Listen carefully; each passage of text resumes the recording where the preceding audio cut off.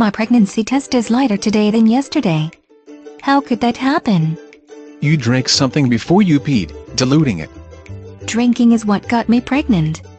I meant, if you drank water late last night, the urine might not be as concentrated. Now the hormones in the urine test aren't as concentrated. I have to concentrate now to see the test. Maybe you didn't get enough pee on the test to get a good result. Or you got a lousy test and need to try a different one. I went through three of them yesterday. There's the possibility you're not pregnant. That's what all the pregnancy tests are for. You might have been pregnant and miscarried. That would cause the pregnancy hormone levels to fall. I am not bleeding.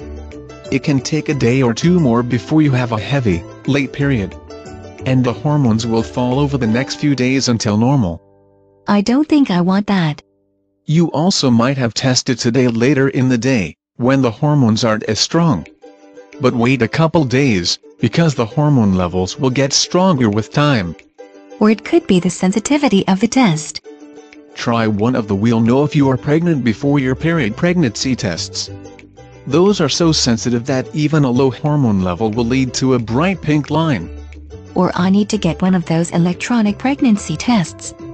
Plus for pregnant, minus for not. It can't be more expensive than a half dozen conventional pregnancy tests. Should I make him pee on the pregnancy test to prove they are working right?